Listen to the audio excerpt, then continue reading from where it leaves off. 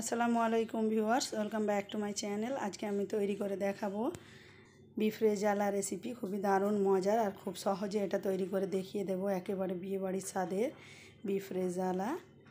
আর খেতে অসাধারণ। এখানে দেখুন, আমি দেড় কেজি পরিমাণ মাংস নিয়ে নিয়েছি। আমি এটা বিফ নিয়েছি, আপনারা চাইলে মাটন দিয়েও করতে পারেন। এখানে সব রকম মাংস আমি নিয়ে নিয়েছি, চর্বিওয়ালা, হাড়ওয়ালা। মশলা দিয়ে দিচ্ছি স্বাদ অনুযায়ী নুন। এক চামচ পরিমাণ হলুদ গুঁড়ো, এক চামচ পরিমাণ লঙ্কা গুঁড়ো আর ধনিয়া গুঁড়ো এখানে দু চামচ পরিমাণ নিয়েছি। গ্রেভিটা ভালো হওয়ার জন্য আর ভাজা জিরা গুঁড়ো নিয়েছি এখানে।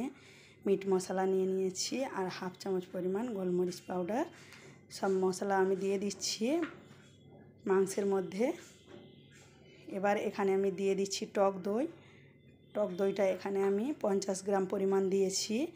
যেহেতু এতে আমি বাদাম বাটা দেবো, সেই জন্য টক দইয়ের পরিমাণটা একটু কম দিচ্ছি, নাহলে কিন্তু গ্রেভিটা বেশি হয়ে যাবে আর খেতে ভালো লাগবে না। আর এখানে আদা, রসুন বাটা দিয়ে দিলাম দু চামচ পরিমাণ, চা চামচের। দিয়ে এবার সব মশলাগুলোকে আমি ভালো করে হাত দিয়ে মাখিয়ে নেব। আর মাংসটাকে ভালো করে ধুয়ে পানিটা ঝরিয়ে নিতে হবে, তবেই কিন্তু ম্যারিনেটটা ভালো হবে। মাংসের মধ্যে পানি থেকে গেলে ম্যারিনেটটা ভালো হবে না। এবার সব মশলা মাখিয়ে নিয়ে এর মধ্যে দিয়ে দিচ্ছি আমি কাঁচা পেঁয়াজ। এখানে দুটো মিডিয়াম সাইজের পেঁয়াজ নিয়েছি। কাঁচা পেঁয়াজ আমি এতে ইউজ করব আর বেরেস্তাও ইউজ করব। বেরেস্তা ভেজে নিয়ে রেখেছি, এটা রান্নার সময় ইউজ করব। আর বেরেস্তা ভাজার তেলটা আমি এর মধ্যে দিয়ে দিচ্ছি। মাংসের মধ্যে এক কাপ পরিমাণ তেল হবে। এর মধ্যে দিয়ে আমি ভালো করে হাত দিয়ে মাখিয়ে নিচ্ছি। আর এই বেরেস্তা বাজার তেলটা দিয়ে ম্যারিনেট ম্যারিনেট করার পর খুবই দারুণ হয়, খুব সুন্দর একটা ফ্লেভার উঠে আসে। ম্যারিনেট করার সময় বুঝতে পারবেন, এবার এটাকে এক ঘণ্টার জন্য ঢেকে রেখে দিয়েছিলাম। এক ঘণ্টা পর আমি ঢাকনাটা খুলে নিলাম। এবার আমি রান্নাটা করতে চলে যাব। আমি যে কড়াতে বেরেস্তা ভেজেছিলাম, ওই কড়াতেই রান্নাটা করে নিচ্ছি। এখানে আমি দিয়ে দিচ্ছি এক কাপ পরিমাণ রিফাইন্ড তেল। যেহেতু আমার মাংসে তেল দেয়া আছে, সেই জন্য এখানে আমি এক কাপ পরিমাণ দিয়েছি। এবার এতে দিয়ে দিচ্ছি আমি দুটো দারচিনি, চারটে এলাচ আর পাঁচ ছয়টা লবঙ্গ। আর দিয়ে দিচ্ছি আমি তিন চারটে কাঁচা লঙ্কা। কাঁচা লঙ্কাটা একটু ছুরি দিয়ে পেঁচিয়ে দিতে হবে, না হলে কিন্তু ছিটকে গায়ে পড়ে যাবার ভয় থাকবে। এখানে দেখুন খুব সুন্দর একটা ফ্লেভার বেরিয়ে এসেছে। এবার তার মধ্যে আমি দিয়ে দিচ্ছি মাংসটা।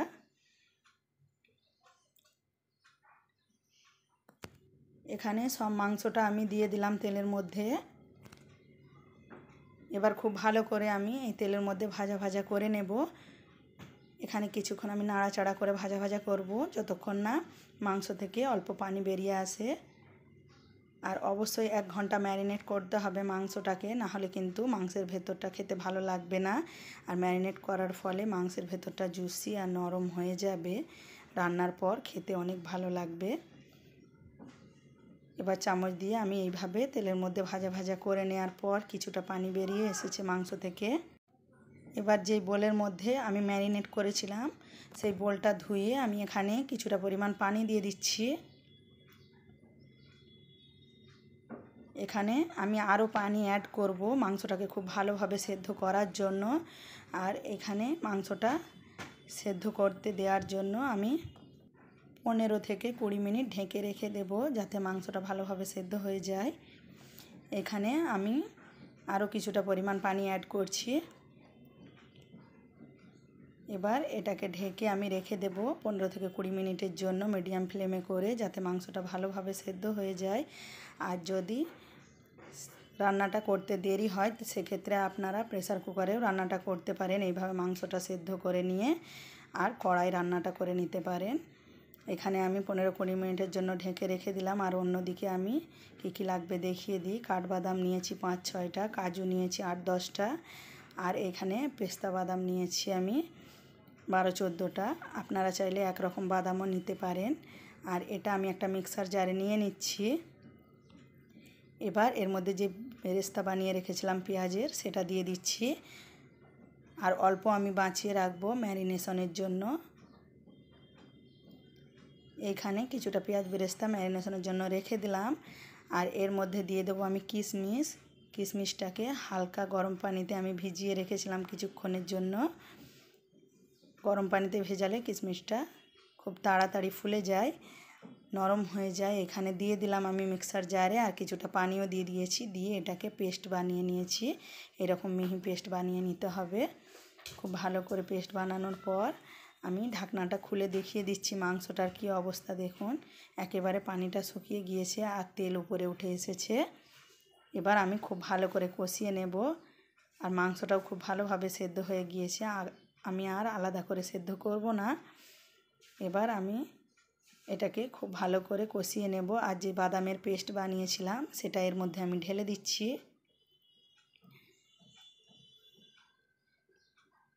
সব বাদামের পেস্টটা এর মধ্যে ঢেলে দেওয়ার পর এটাকে খুব ভালো করে ভাজা ভাজা করে কষাতে হবে।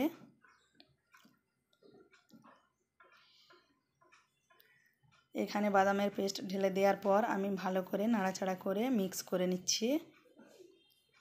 আর এই বাদাম বাটা দেওয়ার পর অনেকে কিন্তু ভালো করে কষায় না, খুব তাড়াতাড়ি রান্নাটা করে নেয়। সেক্ষেত্রে বাদামের কাঁচা গন্ধ ভাবটা থেকে যায়। এইখানে অবশ্যই বাদাম দেওয়ার পর ভালো করে ভাজা ভাজা করে কষাতে হবে। যতক্ষণ না বাদামটা ভাজা ভাজা হয়ে যায় আর তেলটা বেরিয়ে আসে, ততক্ষণ কিন্তু এটা কষাতে হবে, না হলে কাঁচা গন্ধ ভাব থেকে যাবে।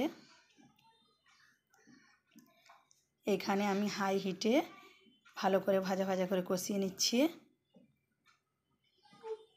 আর এখানে আমি উপর থেকে দিয়ে দিচ্ছি ভাজা জিরা গুঁড়ো, সামান্য পরিমাণ। এই কষাবার সময় ভাজা জিরা গুঁড়োটা অবশ্যই দেওয়ার চেষ্টা করবেন। আর এখানে দিয়ে দিলাম বিরিয়ানির মশলা, যেহেতু এটা বিয়েবাড়ির সাথে রেজালা বানাচ্ছি, সেই জন্য বিরিয়ানির মশলাটা অ্যাড করলাম, হাফ চামচ পরিমাণ। অবশ্যই এটা দেবেন। দেওয়ার পর আমি এখানে যেটাতে বাদাম বেটেছিলাম, সেই মিক্সার জারটা ধুয়ে অল্প পরিমাণে পানি দিয়ে দিলাম। এবার আমি একটু নাড়াচাড়া করে মিক্স করে নিচ্ছি। আর বাদাম দেওয়ার পর আমি খুব ভালো করে ভাজা ভাজা করে কিন্তু কষিয়ে নিয়েছিলাম। এবার একবার মিক্স করে নিচ্ছি চামচ দিয়ে। এইভাবে মিক্স করে নেওয়ার পর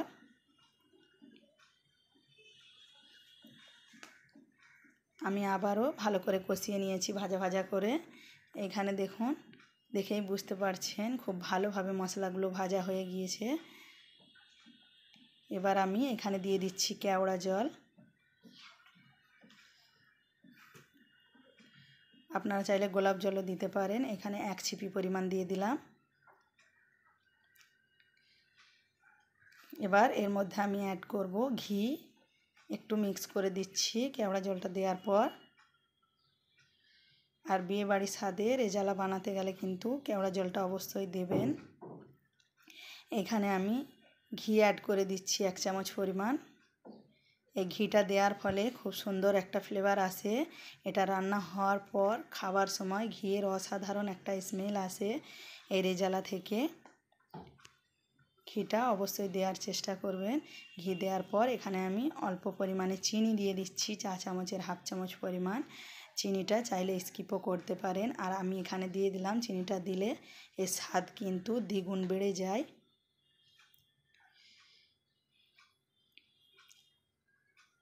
এখানে আমি সব মশলাগুলো একসঙ্গে মিক্স করে দিলাম দিয়ে দেওয়ার পর আমি একটু নাড়াচাড়া করে নিচ্ছি। এবার উপর থেকে দিয়ে দিলাম দুটো কাঁচা লঙ্কা। কাঁচা লঙ্কাটা শুধুমাত্র ফ্লেভারের জন্য দিয়েছি, আপনারা চাইলে নাও দিতে পারেন। এবার একটু নাড়াচাড়া করে মিক্স করে নেওয়ার পর আমার রান্নাটা কমপ্লিট হয়ে গিয়েছে। আমি এবার এটাকে লো ফ্লেমে পাঁচ মিনিট ঢাকনা দিয়ে ঢেকে রেখে দিচ্ছি। পাঁচ মিনিট পর আপনাদেরকে সার্ভ করে দেখিয়ে দেব। এখানে দেখুন গ্যাসের ফ্লেমটা অফ করে দিয়েছি আর পাঁচ মিনিট পর ঢাকনাটা খুলে দেখিয়ে দিচ্ছি। দেখতে কতটা সুন্দর হয়েছে দেখেই বুঝতে পারছেন। আমি একটা বোলের মধ্যে সার্ভ করে নিচ্ছি এখানে। আর এটা অসাধারণ ফ্লেভার অসাধারণ খেতে একটা রেসিপি অবশ্যই এই বকরা ঈদে তৈরি করে খাওয়াবেন বাড়ির লোকেদেরকে। দারুণ প্রশংসা পাবেন। অবশ্যই বাড়িতে ট্রাই করবেন। আর এর সঙ্গে পারাটা বা নানপুরি খেতে পারেন। অসাধারণ লাগে খেতে। যে কোনো নাস্তার সঙ্গে বা শুকনো ভাতের সঙ্গে খেতে অসাধারণ লাগে। পোলাওয়ের সঙ্গেও তৈরি করে খাওয়াতে পারেন মেহমানজন এলে। আর উপর থেকে যেটা আমি পেঁয়াজ পেঁয়াজ বেরেস্তা সরিয়ে রেখেছিলাম, সেটা উপর থেকে আমি দিয়ে দিলাম। দিয়ে একটু সাজিয়ে নিয়েছি সুন্দর লাগার জন্য। এইভাবে অবশ্যই বাড়িতে ট্রাই করবেন।